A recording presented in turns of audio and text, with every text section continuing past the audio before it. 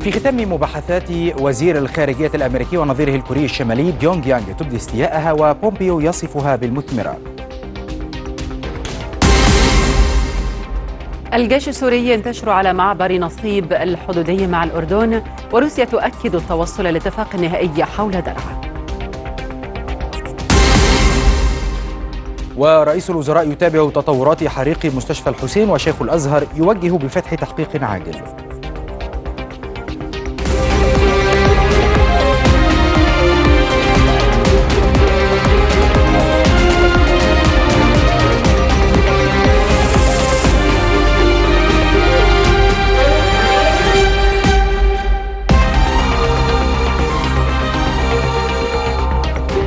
الأخبار من أم أهلا بك رغد أهلا بكم مشاهدينا الكرام وإلى التفاصيل. قبيل مغادرته كوريا الشمالية إلى اليابان أكد وزير الخارجية الأمريكي مايك بومبيو أن محادثاته مع المسؤولين الكوريين الشماليين كانت مثمرة وبناءة، لكنه لم يقدم تفاصيل جديدة بشأن مدى التزام بيونغ يانغ بنزع السلاح النووي مقابل ضمانات أمنية أمريكية. حظينا بساعات طويلة من المناقشات المثمرة لقضايا معقدة ولكننا أحرزنا تقدما في جميع القضايا الرئيسية تقريبا حيث حظيت بعض الجوانب بتقدم كبير بينما تحتاج جوانب أخرى للكثير من العمل. لدينا الآن اجتماع يتم التحضير له ليكون يوم الثاني عشر من شهر يوليو والذي ربما يستمر إلى يوم أو يومين حيث تجرى مناقشات بين الأشخاص المسؤولين عن إعادة الرفات. وسيتم هذا على الحدود. وستبدأ هذه العملية في التطور والنمو على مدار الأيام اللاحقة. ومن ثم كانت محادثات مثمرة للغاية حول العملية التي سننفذ بها الالتزامات التي تم التعهد بها في قمة سنغافورة. وقد نددت كوريا الشمالية بالمطالب المبالغ فيها للولايات المتحدة وصفة سلوكها بأنه مؤسف للغاية إثر المحادثات التي أجراها وزير الخارجية الأمريكي مايك بومبيو في بيونغ يانغ قالت وزارة الخارجية الكورية الشمالية في بيان نقلته وكالة يونهاب الكورية الجنوبية للأنباء أن السلوك الأمريكي والمواقف التي اتخذت خلال المحادثات العالية المستوى الجمعة والسبت كانت مؤسفة للغاية وتأتي المحادثات بعد قمة الرئيس الأمريكي دونالد ترامب وزعيم كوريا الشمالية كيم جونغ أون في سنغافورة وقع خلالها الزعيمان وثيقة تعهدا فيها بالعمل نحو نزع السلاح النووي بشكل تام من شبه الجزيرة الكورية. للمزيد ينضم إلي عبر الهاتف السيد مهدي عفيفي الكاتب والمحلل السياسي من نيويورك. سيد مهدي أهلا بك معنا على شاشة ON Live إذا ما هذا التناقض التام بين ما وصفه وصف المحادثات من جانب بومبيو بأنها كانت مثمرة للغاية وفي المقابل بيونغ يانغ ترى أنها كانت مؤسفة وكسر سقف التوقعات التي كانت تعلق عليه. بالطبع المباحثات في مسألة مثل نزع السلاح النووي من أعقد المباحثات لأن كوريا الشمالية تعتمد على هذا قلبا وقالبا في ضغوطها على المجاورين بالإضافة للتفاوض مع الولايات المتحدة الأمريكية. تعمل الولايات المتحدة الأمريكية بنظام الملفات حيث تحاول حل ملف المفقودين من ثم الدخول في نقاشات مختلفة تتعلق بكل ملف على حدة. إنما كوريا الشمالية لها اهتمامات خاصة بالاهتمام الأمني إضافة إلى الاقتصاد الذي يكاد أن ينهار داخل كوريا الشمالية. ولذلك نرى هذا التناقض. إضافة أن كوريا الشمالية دائما تخاطب الداخل في مناقشتها والولايات المتحدة الأمريكية تخاطب المجتمع الأمريكي. طيب ما الذي توقعته بيونغ يانغ من واشنطن؟ وتحديدا في هذه الزيارة خاصة إنه مايك بومبيو كان واضحا قبل أن يلتقي المسؤولين أو نظيره الكوري الشمالي عندما قال إن بيونغ يانغ من المفترض أن لديها خطة مفصلة للأسلحة النووية الخاصة بها ولديها خطة أيضا وتفاصيل حول كيفية نزع السلاحية في شبه الجزيرة الكورية. بعدما ظهرت بعض المعلومات للولايات المتحدة الأمريكية من خلال الأقمار الصناعية أن كوريا الشمالية لا زالت تنمي في قدراتها النووية. توقفت الولايات المتحدة الأمريكية عن الخطوة الأولى والتي كانت هي الإفراج عن بعض التحفظات على كوريا الشمالية إضافة إلى رفع الحظر عن بعض الشركات. فأعتقد أن هذه المسألة ستأخذ بعض من الجهد من كوريا الشمالية. حتى تثبت الولايات المتحدة الأمريكية والمجتمع الدولي حقيقة عملها في نزع السلاح النووي. هل يمكن أن نتوقع ثمة وساطات يمكن أن تتدخل لتجاوز هذه المرحلة من المحادثات الأمريكية الكورية الشمالية؟ بالطبع بالطبع. فإن الصين واليابان وكوريا الجنوبية من اللاعبين الأساسيين في تلك الوساطة. وأعتقد أن في الأيام القليلة الماضية القادمة سنجد بعض الانفراجات في ملفات مختلفة. كما ذكرت الولايات المتحدة الأمريكية ستتعامل مع ملف ملف في حينه شكرا لك كنت معي عبر الهاتف من نيويورك الكاتب والمحلل السياسي مهدي عفيفي. استعاد الجيش السوري السيطرة الكاملة على معبر نصيب الحدودي مع الأردن والذي ظل تحت سيطرة المعارضة لثلاث سنوات. هذا وبث التلفزيون السوري لقطات تظهر وصول تعزيزات عسكرية إلى المعبر في إطار اتفاق تم التوصل إليه مع المعارضة بوساطة روسية الذي يقضي بانسحاب المعارضة وتسليم أسلحتها الثقيلة. وذكر التلفزيون أن قوات الجيش انتشرت في المعبر لتمشيطه وتطهيره من الألغام والمتفجرات التي زرعتها الجماعات المسلحة.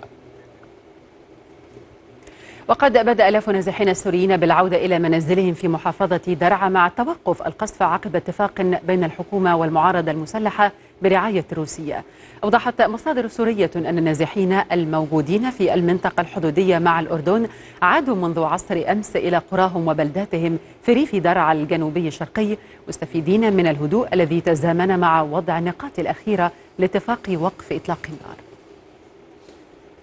قال وزير الدولة الإماراتي للشؤون الخارجية أنور جرجاش إن سياسة الحكومة القطرية لم تعالج رغبة مواطنيها في حل أزمة البلاد بل عمقت منها وزادت من فجوتها. وأضاف جرجاش في سلسلة تغريدات له على موقع التواصل الاجتماعي تويتر أن مرحلة استجداء الدوحة لدول العالم لم تجدي نفعا وتوقيع العقود مع الغرب فشلت.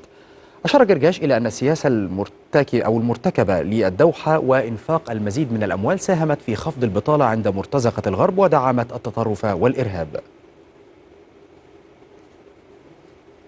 أكد تحالف دعم الشرعية في اليمن استمرار تقدم الجيش الوطني اليمني وبدعم من التحالف على جميع الجبهات. وأضاف أن العمليات العسكرية تمكنت من إرباك منظومة الاتصالات العسكرية الحوثية في محافظة صعدة تحت ضغط عملياتي متزامن من التحالف. وأكد التحالف مقتل 341 عنصرا من عناصر ميليشيا الحوثي في ال 72 ساعة الماضية. أكدت دولة الإمارات التزام التحالف العربي في اليمن بالخطة الإنسانية والعمل الإغاثي للشعب اليمني لا سيما في محافظة الحديدة. هذا واتهمت الإمارات في رسالة بعثت بها إلى مجلس الأمن الدولي ميليشيا الحوثي بمفاقمة الوضع الإنساني في الحديدة عبر زر الألغام ومنع وصول المساعدات واستخدام الملف الإنساني كورقة مساومة. كذلك أكدت إنشاء التحالف لثلاث مستشفيات رئيسة وتسعة عشر مركزا صحيا في الحديدة وتعزيزها بالإمدادات الطبية.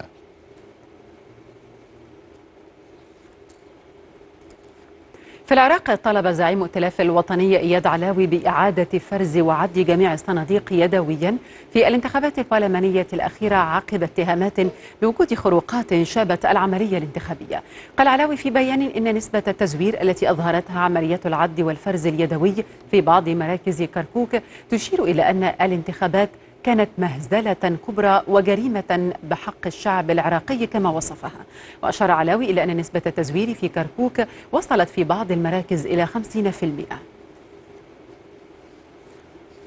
قالت مسؤولة الشؤون الخارجية في الاتحاد الأوروبي فيدريكا موغريني أن الدول الأوروبية قدمت مقترحات لضمان استمرار العمل بالاتفاق النووي إذا التزمت إيران بتفاصيل الاتفاق في إشارة إلى عدم التوصل إلى انفراجة حتى الآن. جاءت التصريحات موغريني عقب اجتماع في فيينا للدول الموقعة على الاتفاق النووي الإيراني. استدعت إيران السفيرة الهولندية لديها في طهران احتجاجا على ترحيل اثنين من دبلوماسيها في هولندا بتهمة التخابر. ووصف المتحدث باسم وزارة الخارجية الإيرانية بهرام قاسمي القرار الهولندي بغير الودي وغير البناء وقال إن إيران لها الحق في اتخاذ إجراءات مماثلة.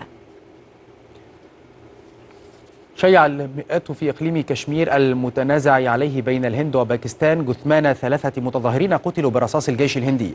وقال شهود عيان إن الجنود فتحوا النيران في منطقة كولجام جنوبية كشمير بعد أن تظاهر مئات المحتجين الغاضبين من عمليات بحث الجيش عن مسلحين مشتبه بهم. يأتي العنف الدامي عشية الذكرى الثانية لمقتل القيادي المتمرد برهان واني بيد القوات الهندية في يوليو من عام 2016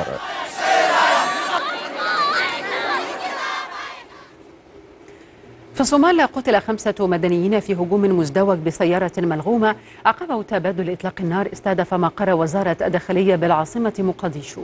وقد أعلنت حركة الشباب الصومالية مسؤوليتها عن هذا الهجوم.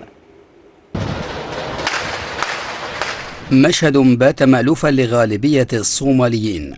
فالتفجيرات وسقوط القتلى لم يعد أمرا استثنائيا في ظل استمرار تحدي الإرهاب ممثلا في جماعة الشباب المرتبطة بتنظيم القاعدة. العاصمة مقدشو كانت مع فصل جديد من الفصول الدموية. عندما استهدف هجوم مزدوج بسيارة مفخخة أعقبه تبادل لإطلاق نار مقر وزارة الداخلية رغم الإجراءات الأمنية المشددة. وتسبب الهجوم الذي استمر لساعتين في مقتل وإصابة العشرات فضلا عن الخسائر المادية التي لحقت بمبنى وزارة الداخلية كما يعد الهجوم هو الثاني من نوعه منذ فبراير الماضي حينما قتل 24 في اعتداءات نفذتها حركة الشباب الإرهابية. وخلال العامين الماضيين شهدت العاصمة الصومالية مقدشو أكثر من 20 هجوما إرهابيا أسفرت عن مقتل 420 شخصا وكان أعنفها في شهر أكتوبر الماضي حيث وقع المئات بين قتلى وجرحى بثلاث هجمات استهدفت مقر البرلمان. ويعد الإرهاب في الصومال أحد الملفات الملحة التي تهدد السلم والأمن في القارة الإفريقية في ظل إصرار جماعة الشباب على نهجها الإرهابي ورفضها لإلقاء السلاح. في وقت تكافح الحكومة الصومالية من أجل التصدي لمخططات الإرهاب والجماعات التي تقف وراءه وتموله بالمال والسلاح. أدان الدكتور شوقي علام مفتي الجمهورية العملية الإرهابية التي قامت بها مجموعة من العناصر الإرهابية بتفجير سيارة مفخخة بالقرب من القصر الرئاسي في الصومال ما أسفر عن عشرين قتيلا وجريحا. هذا وأكد مفتي الجمهورية في بيان له أن سعي الجماعات الإرهابية الحثيث لإثارة القلق والاضطرابات داخل البلدان هو دليل على أن الغرض من أفعالهم الإجرامية ليس الصالح العام للناس ولكن إشباع رغباتهم في سفك الدماء والتكالب على السلطة. أعلن وزير الخارجية السوداني الدرديري أحمد أن طرفي النزاع في جنوب السودان توصلا إلى اتفاق حول تقاسم السلطة ينص على تولي رياك مشار مجددا منصب نائب الرئيس كذلك عقب اللقاء الذي عقد في أوغندا لإنهاء أكثر من أربع سنوات من الحرب الأهلية في جنوب السودان. وأوضح الدرديري أحمد أنه تم الاتفاق على أن يكون هناك أربعة نواب للرئيس. يكون النائب الأول ريك مشار ومنصب النائب الرابع سيمنح لامرأة من المعارضة. وأضاف أنه سيتم بحث تفاصيل إضافية خلال مفاوضات تعقد في الخرطوم وكينيا في الأيام المقبلة. قتل جندي أمريكي وأصيب اثنان آخران في هجوم جنوبي أفغانستان وقالت مهمة الدعم الحازم التابعة لحلف شمال الأطلسي في بيان أن المصابين في حالة مستقرة مشيرة إلى أن الواقع قيد التحقيق. جهته قال شرطي أفغاني أن الهجوم وقع في المطار الرئيس في ولاية أوروزغان.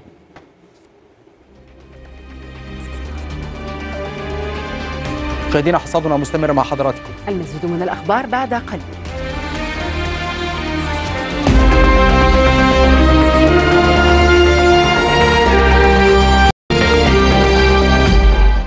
أهلا بحضراتكم من جديد. ونواصل تقديم الأخبار.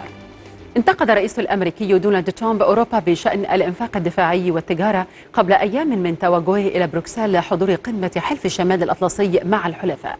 وذلك بعد مواجهة مباشرة الشهر الماضي مع الشركاء الرئيسيين في اجتماع مجموعة السبع. متسلحا بانتقادات لاذعة لشركائه الأوروبيين بشأن الإنفاق الدفاعي والتجارة والاتفاق النووي مع إيران. يبدأ الرئيس الأمريكي دونالد ترامب زيارته للقارة العجوز وتلقي التوترات الأخيرة في العلاقات بين الولايات المتحدة الأمريكية والاتحاد الأوروبي بظلالها على التعاون المخطط له خلال قمة حلف شمال الأطلسي الناتو المرتقبة في العاصمة البلجيكية بروكسل. سأخبر حلف الناتو بأن عليهم البدء في دفع الفواتير فإن الولايات المتحدة لن تعتني بكل شيء. كما انتقد ترامب بشكل مباشر المستشارة الألمانية أنجيلا ميركل أثناء تجمع لأنصاره في مونتانا. تحدثت مع أنجلا وقلت لا أستطيع أن أضمن شيء لكننا نحميكم وهذا يعني الكثير بالنسبة لكم. لأنني لا أعرف مقدار الحماية التي نحصل عليها بحمايتكم. ورغم أن كلام ترامب موجه لميركل فإنه يشمل أيضا الأوروبيين في إشارة للفقرة الخامسة من ميثاق حلف الناتو والتي تنص على أن أي هجوم مسلح على أي دولة عضو أو أكثر من أعضاء الحلف في أوروبا أو أمريكا الشمالية يعتبر هجوما على سائر الدول الأعضاء. ويسيطر الخلاف في وجهات النظر في مواضيع عدة بين الولايات المتحدة والاتحاد الأوروبي. إثر انسحاب واشنطن من الاتفاق النووي الإيراني واتفاقية باريس للمناخ ونقل سفارتها إلى القدس وأخيرا الحرب التجارية بين الطرفين. الأمر الذي يزيد من احتمال تأثيراتها السلبية على علاقات التعاون ضمن صفوف الناتو. وتأتي القمة المرتقبة بين ترامب ونظيره الروسي فلاديمير بوتين عقب قمة الناتو لتزيد من مخاوف الأوروبيين بشأن إمكانية أن يتخذ الرئيس الأمريكي مواقف غير متفق عليها مع الحلف تضر حسب وجهة نظرهم بمصالح الدول الأعضاء. لذلك يرى خبراء ضرورة ألا يخرج ترامب خاسرا من قمة بروكسل حتى لا يتم دفعه إلى تقديم تنازلات لنظيره الروسي في قمتهم المرتقبة. وعلى عكس قمم الاتحاد الأوروبي فإن البيانات الختامية الناتجة عن قمم الناتو تعتبر حصيلة شهور طويلة من المباحثات بين الحلفاء إذ يوقع القادة خلال القمة على القرارات المتفق بشأنها مسبقا. لذلك تتصاعد المخاوف أن تشهد القمة رفض ترامب لبعض القرارات على غرار رفضه لبيان مجموعة الدول السبع بعد موافقته الأولية عليه. الأمر الذي ينذر باستمرار الخلاف بين الجانبين ويؤثر بشكل كبير بحسب خبراء على مستوى ونوع التضامن والوحدة داخل حلف الناتو حيال القضايا العالمية. اعتبرت المدير العام لصندوق النقد الدولي كريستين لاجارد أن الاتحاد الأوروبي له أهمية استراتيجية لكل من طرفي الحرب التجارية الدائرة حاليا ما بين الولايات المتحدة والصين.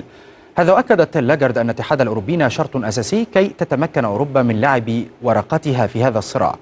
كما أشادت بالسياسة التي ينتهجها الاتحاد الأوروبي الذي سيشارك في قمة في بكين يومي السادس عشر والسابع عشر من يوليو الجاري. وأضافت المدير العام أن الاتحاد الأوروبي يجب أن يصنع قدره بنفسه. وقد قالت المستشارة الألمانية أنجيلا ميركل إنها تأمل في تجنب حرب تجارية مع الولايات المتحدة.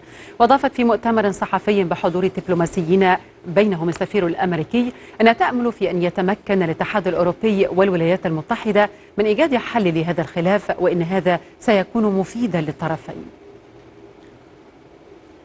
قالت الصين إن أحدا لن يحقق مكسبا من وراء حرب تجارية وذلك بعد فرض الولايات المتحدة رسوما على واردات صينية بقيمة 34 مليار دولار ورد بكين بالمثل.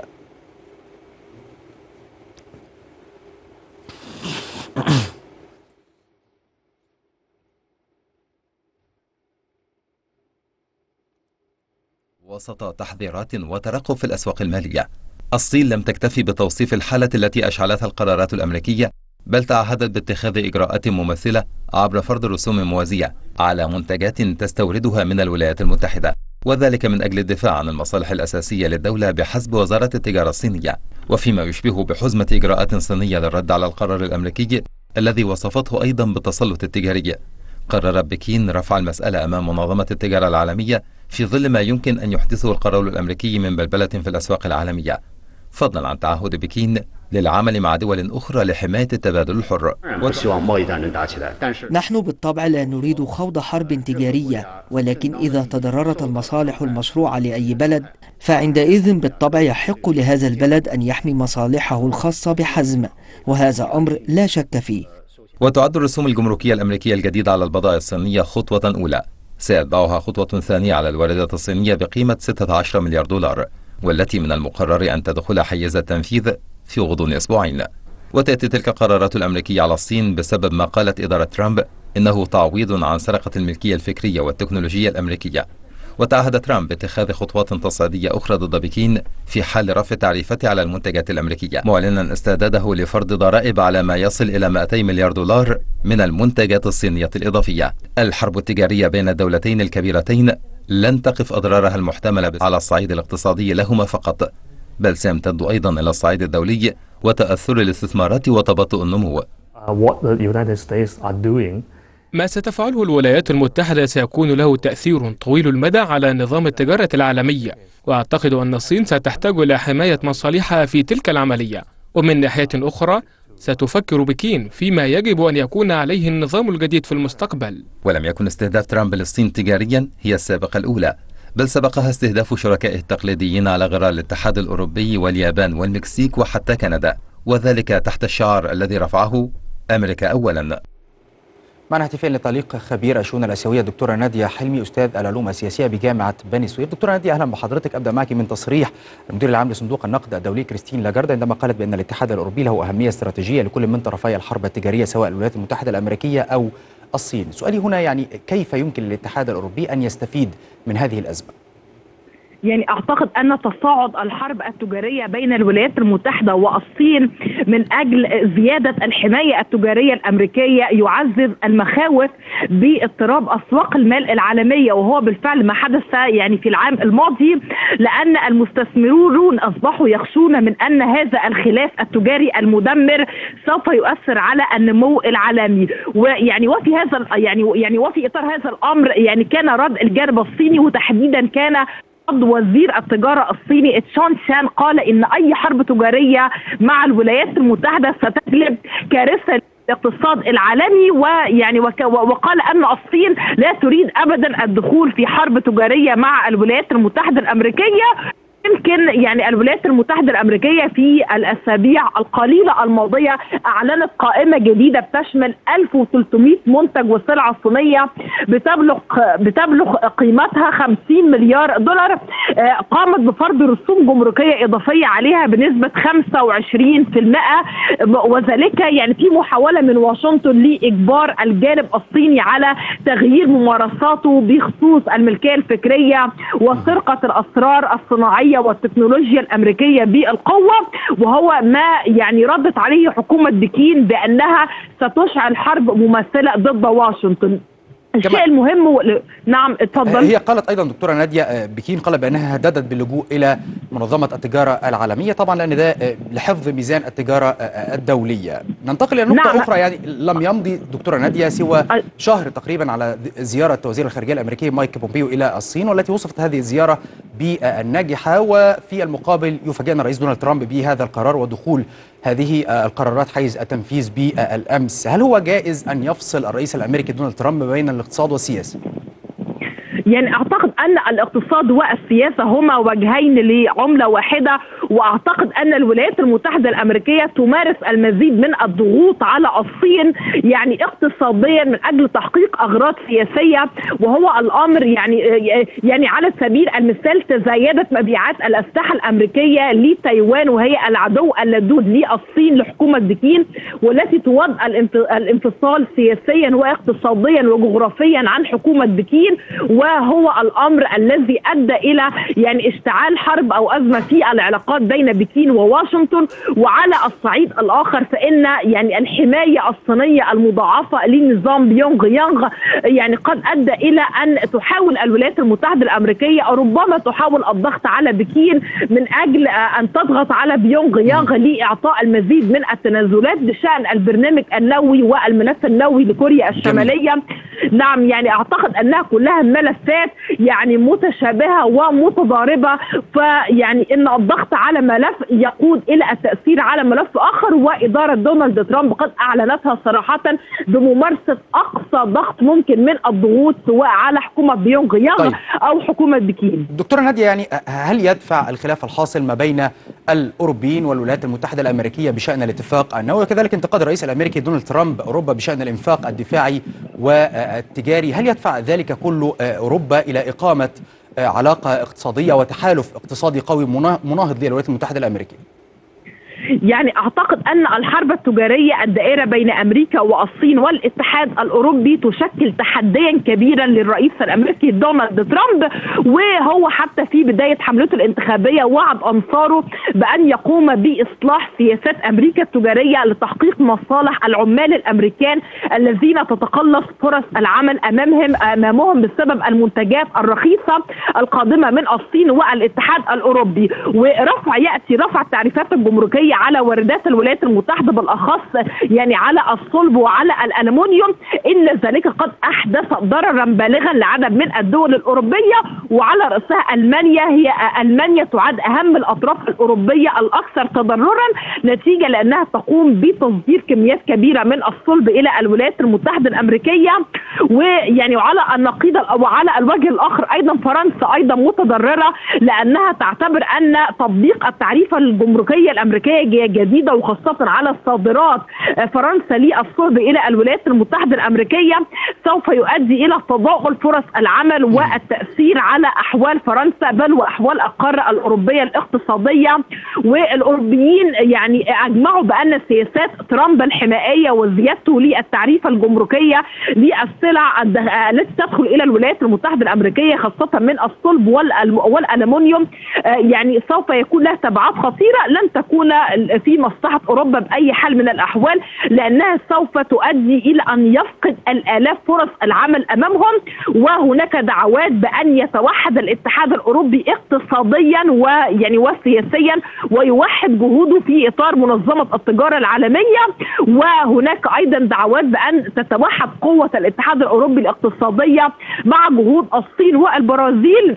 والنقطة الأخيرة التي أود التركيز عليها أيضا هي أن البريطانيين يعني إنجلترا ربما كانت هي الأكثر سيطرة على ردود أفعالها تجاه القرارات الأمريكية ولكن يعني ولكن في الفترة الأخيرة تصاعدت مخاوف أيضا من أنه ربما تكون سياسات ترامب الحمائية الجديدة وزيادته للتعريفات الجمركية ربما سوف يكون لها تأثير سلبي على صناعة الصلب الإنجليزي. نعم هاتفيا خبيرة شؤون الآسيوية دكتورة نادية حلمي أستاذ العلوم السياسية بجامعة بني سويف شكرا جزيلا لك. بدأت رئيسة الوزراء البريطانية تريزا ماي في التواصل مع قيادات حزب المحافظين والمفوضية الأوروبية لإقناعهم بمقترح إنشاء منطقة تجارة حرة مع الاتحاد الأوروبي بعدما نجحت في الحصول على موافقة وزراء حكومتها بشأن الإجراءات الاقتصادية ما بعد الخروج من الاتحاد الأوروبي. وأعلنت الحكومة البريطانية بأن الاقتراحات الواردة بمقترح ماي ستتيح تفادي العودة إلى إقامة حدود مادية بين أيرلندا وأيرلندا الشمالية وكانت هذه المسألة هي أبرز نقاط الخلاف في المفاوضات الجارية. وكذلك كانت مصدر قلق شديد لسكان الجزيرة.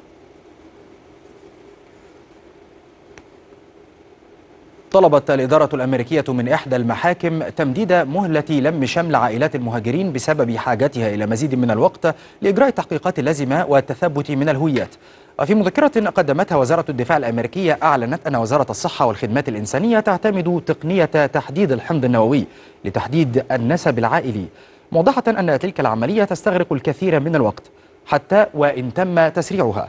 وكانت محكمة أمريكية قد أعطت مهلة 14 يوما لإعادة جميع الأطفال دون خمس سنوات لذويهم ومهلة 30 يوما لإعادة جميع من تزيد أعمارهم على خمس سنوات لأهلهم.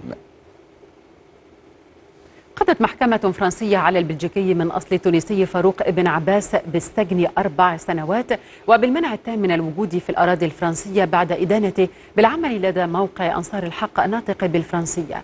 قال الادعاء بأن الموقع كان ينشر بيانات لتنظيمات متطرفة وتبنى اعتداءات وتطبيقات للتشفير وإنه كان أداة بيد منظمات إرهابية من أجل التجنيد والتواصل مع الشباب.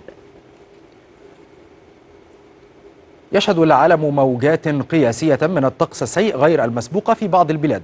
تتنوع بين درجات حرارة مرتفعة وسيول وفيضانات غزيرة. إلى الحد الذي أوقع قتلى ومفقودين ولم يستثني التغيير المناخي أي من قارات العالم.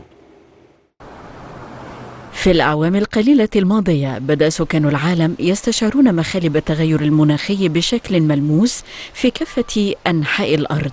ففي كندا لقي العشرة حتفهم خلال الأسبوع الجاري جراء موجة حر ضربت شرق البلاد وشهدت مونتريال الكبرى أكبر عدد من حالات الوفاة. وفي القارة نفسها في الولايات المتحدة فقد شهدت ولاية كاليفورنيا في الجنوب موجة حر قياسية حيث سجلت درجة الحرارة في لوس أنجلوس 108 درجة فرنهايت ومن المتوقع استمرار الارتفاع. الأمر الذي أدى إلى اندلاع ثلاث حرائق بالغابات التهمت أكثر من 100 فدان شمال سان برناردينو. وحث المسؤولون السكان على الاحتماء والبقاء في منازلهم بسبب الحرارة كما حذروا من الأمراض المرتبطة بالحرارة التي تؤدي إلى الوفاة. وفي ألمانيا تعرضت أجزاء من غرب البلاد لأمطار غزيرة بينما لم يشهد شرق البلاد سقوط أمطار منذ أسابيع مما زاد من خطر اندلاع حرائق الغابات وأجبر مزارعين على جني محاصيلهم في وقت مبكر. كما اكتست بلدة صغيرة في فرانكفورت بطبقة من الطين. وإلى الجنوب من برلين قرب الحدود البولندية حاول رجال الإطفاء إخماد حريق غابة بمساحة 988 فدانة. الأمر الذي سيكلف القطاع الزراعي أثمانا باهظة بنقصان المحاصيل عشرات الأطنان. أما آسيا فقد فقد عشرة الأشخاص على الأقل. في اليابان وأصيب عدد بحالة إعياء شديد. بعد أن شهدت مناطق غرب ووسط اليابان أمطارا غزيرة أودت بحياة العشرات من الأشخاص. وأبقت هيئة الأرصاد الجوية اليابانية على تحذيرات بشأن الأحوال الجوية في عدد من المناطق. وحثت على توخي الحذر من الانهيارات الأرضية وارتفاع منسوب مياه الأنهار والرياح العاتية وسط الأمطار التي وصفتها بأنها تاريخية. الشرق الأوسط لم يكن بمعزل عن موجات الحرارة إذ شهدت مدن ارتفاعا قياسيا في درجات الحرارة. ففي العراق سجلت مدينة العمارة في محافظة ميسان أعلى درجات الحرارة في العالم بدرجة 51 مئوية إلى جانب ثمان مدن عراقية أخرى ضمن جدول يضم 15 مدينة لدول العالم. قالت هيئة الإذاعة والتلفزيون اليابانية إن 49 شخصا لقوا حتفهم وفقد 48 آخرون جراء تساقط أمطار غزيرة غرب ووسط اليابان ما دفع السلطات لإصدار أوامر لأكثر من مليون وستمائة ألف نسمة بإخلاء منازلهم.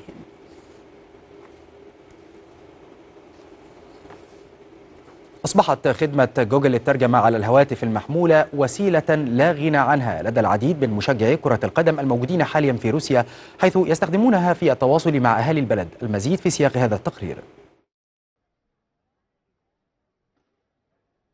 ربما تكون كرة القدم اللغة الأكثر عالمية بين مشجعيها. لكن عندما يتعلق الأمر بالتواصل مع السكان المحليين في روسيا البلد المضيف لمباريات كأس العالم فإن حب اللعبة لا يكفي في بعض الأحيان. وللتغلب على الحواجز اللغوية في روسيا قرر مشجع المونديال استخدام تطبيقات الترجمة من موقع جوجل على هواتفهم المحمولة الأمر الذي ساعدهم في البحث وكتابة العبارات أو الإيماءات المطلوبة. من الصعب فهم الأبجدية السريالية باللغة الروسية. لذلك نستخدم جوجل طوال الوقت ونسأل الأشخاص عما يحاولون تقديمه لنا أو ما سيتناولونه في أحد المطاعم. ثبت أن البرنامج لا غنى عنه للعديد من المشجعين للتواصل مع السكان المحليين في المدن المضيفة لكأس العالم حيث يكتب المشجعون الأجانب ما يريدون أن يقولوه باللغة الروسية بلغتهم الأصلية ويعرضون الترجمة على السكان المحليين. كما يستخدم آخرون التطبيق الصوتي الذي يتيح لهم التحدث إلى الأشخاص بلغات أخرى. كنت في متجر للهدايا التذكارية وكانت السيدة تجلس على جهاز الكمبيوتر الخاص بها وتكتب الكلمات باللغة الروسية ثم تطلب مني النظر في شاشتها لقراءة الكلمات بالإنجليزية. على الرغم من أن التطبيق يمكن أن يؤدي في بعض الأحيان إلى ترجمات غير دقيقة أو محرجة إلا أن المشجعين يقولون إنه قد عزز من تجربة كأس العالم بشكل كبير. حصدنا مستمر مع حضراتكم. المزيد من الأخبار بعد قليل.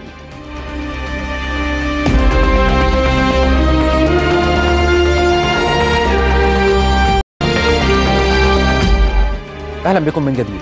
ونواصل تقديم الأخبار. في الشأن المحلي تابع رئيس الوزراء مصطفى مدبولي تطورات حادث الحريق في مستشفى الحسين الجامعي وأجرى أربعة اتصالات مع كل من فضيلة الإمام الأكبر شيخ الأزهر ووزير الداخلية والصحة ومحافظ القاهرة للاطمئنان على إنهاء أعمال الإطفاء ورعاية الكاملة للمصابين. وجه رئيس الوزراء بالتعامل السريع للحفاظ على أرواح المرضى داخل المستشفى والتأكد من استكمال توفير الرعاية الطبية اللازمة لكل حالة بالمستشفيات الأخرى مشددا على المتابعة الدقيقة لتطورات الحادث أولا بأول. هذا وأجرت الدكتورة هالة زايد وزيرة الصحة والسكان اتصالا هاتفيا بالدكتور أحمد سليم عميد كلية طب جامعة الأزهر لمتابعة حادث حريق داخل مستشفى الحسين الجامعي مشيرة إلى أنه تم الاطمئنان على حالات المصابين. وأضافت زايد أنه تم إرسال فريق طبي من الوزارة وتوفير جميع الأدوية والمستلزمات الطبية اللازمة مضيفة أنه تم إخلاء المرضى المحتجزين داخل المستشفى إلى مستشفيات المنيرة ومنشية البكري وأحمد ماهر وباب الشعرية. وقد وجه فضيلة الإمام الأكبر شيخ الأزهر دكتور أحمد الطيب بفتح تحقيق عاجل لمعرفة أسباب حادث الحادث أو الحريق الذي شب بمستشفى الحسين الجامعي ومحاسبة المسؤولين حسب نتيجة التحقيقات.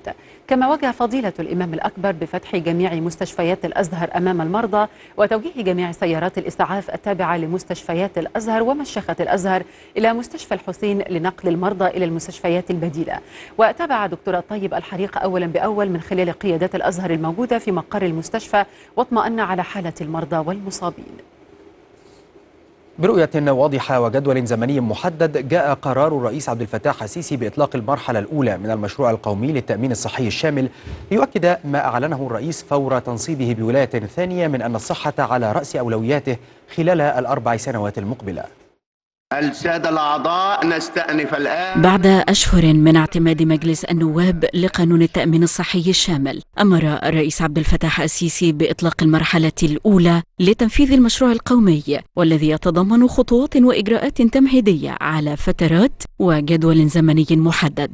قرار الرئيس جاء بعد أيام من انتشار شائعات بتأجيل تطبيق المشروع لأجل غير مسمى وهو ما سارعت الحكومة بنفيه في ظل أنه يعد أحد أهم محاور برنامج الحكومة الجديدة التي تقدمت به إلى مجلس النواب الأسبوع الماضي. ويتضمن الأمر الرئاسي خمس خطوات محددة يستهدفها المشروع خلال مرحلته الأولى التي ستطبق في محافظات إقليم القنا وهو ما ينعكس على جودة المنظومة الصحية في مصر. إذ يستهدف المشروع في تلك المرحلة القضاء على قوائم الانتظار للمرضى بالجراحات والتدخلات الطبية الحرجة خلال فترة ستة أشهر وإطلاق مشروع تطوير المستشفيات النموذجية بجميع محافظات مصر وتوفير المخزون الاستراتيجي من ألبان الأطفال والأمصال واللقاحات وعلاج 45 مليون مصاب بفيروس سي خلال عامين.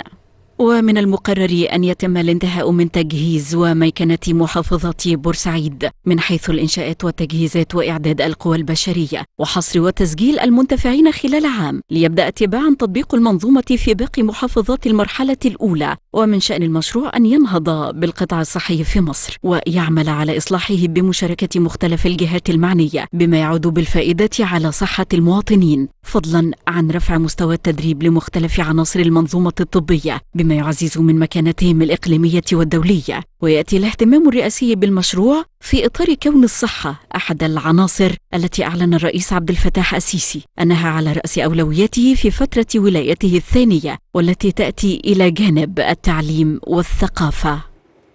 افتتحت وزارة الشباب والرياضة مهرجان الموسيقى والغناء التراثي للشباب العربي. وفي كلمته أكد وزير الشباب والرياضة أشرف صبحي أن الوزارة تخاطب الشباب والرسالة التي يعمل عليها تتمثل في العمل على تطويرهم لأنهم يمثلون فكر وعقل البلاد وهم من سيتحملون أعباء المستقبل. وزارة الشباب والرياضة بتخاطب الشباب. آه، الشباب في الحقيقة إذا كان ملفنا شباب والرياضة فالشباب بيسبق الرياضة. آه، رسالتنا للشباب كبيرة جدا ليها مفاهيم عميقة جدا. الشباب فكر شباب عقل شباب كيان حراك عاطفة قوة. الشباب هو مراية العصر هو آه، اللي هيتحمل أعباء المستقبل. الشباب هو الولاء الشباب هو الانتماء. الشباب يمثل الكثير قدوة لما قبله ويحتذى بقدوة للأجيال السابقة. وأشار وزير الشباب والرياضة إلى أن مهرجان الموسيقى والغناء التراثي للشباب العربي يأتي في إطار اختيار القاهرة عاصمة للشباب العربي والدور الذي تقوم به وزارة الشباب والرياضة. المهرجان طبعا بيمثل جزء كبير جدا من آه، القاهرة عاصمة الشباب العربي و- وإحنا آه، النهارده الاحتفالية إن شاء الله آه، بتعبر عن آه، إمكانيات وزارة الشباب والرياضة والأعمال اللي بتقوم بها وزارة الشباب والرياضة في مجال الشباب مش بس الشباب المصري الشباب المصري والشباب العربي. وفي نخبة كبيرة النهارده في الحقيقة من الضيوف غير ولادنا اللي هتشوفوا مواهبهم عاملة إزاي يعني. قال نقيب الموسيقيين الفنان هاني شاكر إن مهرجان الموسيقى والغناء التراثي للشباب العربي مهرجان فني عربي عالي التمثيل وطالب بتكرار المهرجان السنوي. طبعا أنا سعيد جدا بوجودي معاكم النهارده ووجودي في هذا الاحتفال العربي الفني الكبير آه، تحت رعاية فخامة الرئيس عبد الفتاح السيسي وأخويا وحبيبي الدكتور أشرف آه، آه، صبحي. الحقيقة النهارده إحنا في تجمع عربي جميل من الشباب الوطن العربي وإن شاء الله يا رب هذه التجربة تتكرر كل سنة بإذن الله. وإحنا يعني دور النقابة ودور الموسيقى عموما هي لم شمل العرب في كل مكان. الحقيقة ده ده يعني عايز أقول الهدف الأساسي من الفن والهدف الأساسي من الموسيقى.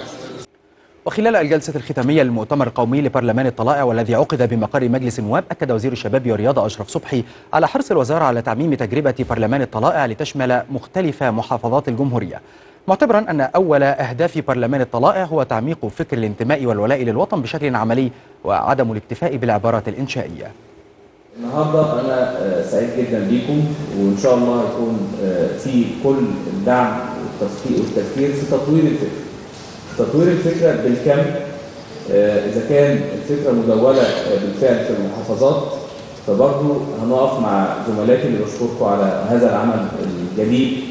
المتمكن لكن هنقف من هنا ببعض الأهداف الأخرى إزاي نعمم الفكرة في الكم مع الكيف.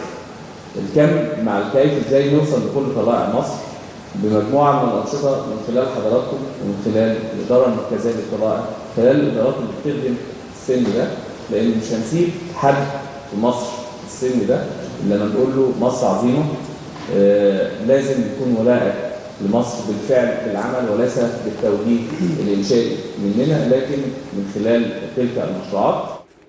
بدوره أبدى وكيل مجلس النواب السيد محمود الشريف إعجابه بتجربة برلمان الطلائع وكشف وكيل البرلمان عن وجود اتجاه داخل المجلس لإتاحة فرصة أكبر لمثل هذه التجارب من خلال معايشة العمل الحقيقي تحت قبة البرلمان لتعريف الطلائع والشباب بطبيعة العمل النيابي ودوره في الحياة السياسية. إحنا ما شاهدناه اليوم من الأدوات الرقابية بيستعملها أبنائنا من الطلائع المستقبل ومن هذا البرلمان. ده فعلا شيء أكثر من رائع وأكثر من ممتاز. وفي نفس الوقت إحنا يعني في حاليا في اتفاق كامل داخل مجلس النواب رئيس المجلس والوكيلين وأعضاء المجلس ورؤساء اللجان إن إحنا ندي مساحة أكبر داخل البرلمان للتجربة الشبابية داخل البرلمان. عشان يعيشوا الواقع وفي نفس الوقت يبقى فيه فكر لديهم عن كيف يدار البرلمان المصري والأدوات الرقابية والتشريعية داخل البرلمان إيه هي؟ شارك البابا توادرس الثاني بابا الإسكندرية وبطريرك الكرازة المرقسية في يوم الصلاة من أجل الشرق الأوسط والذي يقام بناء على دعوة من بابا البابا فرانسيس بابا الفاتيكان. هذا رفع البابا توادرس صلاته باللغة العربية من أجل الشهداء والمصابين داعيا أن يعم السلام العالم وأن تنتهي الحروب بمنطقة الشرق الأوسط. وقد دعا البابا فرانسيس بابا الفاتيكان بوضع حد لما أسماه باستفادة قلة من معاناة كثيرين. وخلال اجتماع للصلاة من أجل السلام في الشرق الأوسط أدان البابا فرانسيس التعصب والتطرف باسم الدين واعتبر أن الوضع الراهن للقدس يجب احترامه بصفتها مدينة مقدسة لليهود والمسيحيين والمسلمين مجددا تأييده لحل الدولتين لتسوية الصراع العربي الإسرائيلي. قامت مديرية أمن الجيزة بتوجيه قافلتين إحداهما طبية والأخرى مرورية لمدينة الواحات البحرية وتوزيع سلع غذائية على المواطنين في إطار استراتيجية وزارة الداخلية لتعظيم الدور المجتمعي ودعم أطر التواصل مع جميع المواطنين. انطلاقا من حرص وزارة الداخلية على تفعيل الجانب المجتمعي في جهودها بخاصة ما يتعلق منها بمبادرات إيفاد القوافل الطبية إلى الأماكن التي تحتاج لذلك أيا كان موقعها. فقد قامت مديرية أمن الجيزة بالتنسيق مع قطاع الخدمات الطبية بالوزارة بتوجيه قافلة طبية لمدينة الواحات البحرية. ضم كل التخصصات الطبية بالإضافة إلى صيدلية. وقام أطباء القافلة بتوقيع الكشف الطبي على المواطنين الراغبين في ذلك بالمجان مع صرف الأدوية اللازمة لهم. وحرص مدير أمن الجيزة على الإشراف على هذه القافلة. حيث أعرب المواطنون عن تقديرهم لمثل هذه المبادرات. المبادرة لم تقتصر على القوافل الطبية وإنما شملت توزيع سلع أساسية على المواطنين لتخفيف العبء عنهم كما ضم قافلة مرورية لفحص السيارات التي حل ميعاد فحصها لتسيير إجراءات التراخيص لأصحابها. أحبطت أجهزة الأمن محاولة تشكيل عصابي تهريب أو لتهريب كمية من المواد المخدرة. كانت الإدارة العامة لمكافحة المخدرات قد جمعت معلومات تفيد اعتزام عناصر تشكيل عصابي جلب كمية من مخدر الآيس من الخارج عبر ميناء القاهرة الجوي وترويجها على عملائهم داخل البلاد.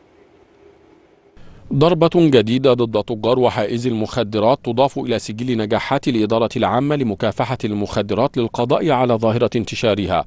فقد استطاعت الإدارة إجهاض مخطط تشكيل عصابي لجلب شحنة كبيرة من مخدر الآيس من إحدى الدول الآسيوية عبر ميناء القاهرة الجوي. حيث رصدت الإدارة عناصر التشكيل واعتزامه جلب هذه الشحنة لترويجها بين أوساط الشباب حيث تنوعت الأدوار ما بين السفر لعقد الصفقات والجلب والإخفاء والترويج. بعد الرصد والمتابعة تم ضبط ثلاثة من عناصر التشكيل قادمين على متن رحلة تابعة للشركة الوطنية من الدولة المعنية. وبالتفتيش عثر على 10 كيلوغرامات من مخدر الآيس داخل أكياس أطعمة وهواتف محمولة ومبالغ مالية متنوعة تم ضبطها وجاري تكثيف الجهود لضبط باقي عناصر التشكيل. إلى هنا ينتهي حصادنا لهذه الليلة. ونذكركم بأهم ما عرضنا في ختام مباحثات وزير الخارجية الأمريكي ونظير الكوري الشمالي بيونغ يانغ تبدي استياءها وبومبيو يصفها بالمثمرة.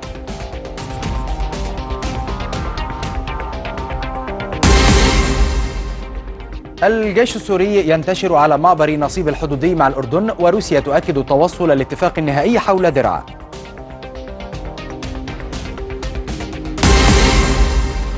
ورئيس الوزراء يتابع تطورات حادث حريق مستشفى الحسين وشيخ الأزهر يوجه بفتح تحقيق نعم ودائما بإمكانكم متابعة المزيد عبر حساباتنا الرسمية على فيسبوك تويتر ويوتيوب. أشكركم مشاهدينا الكرام على طيب وكرم المتابعة. لقول إخباري جديد يأتيكم على رأس الساعة.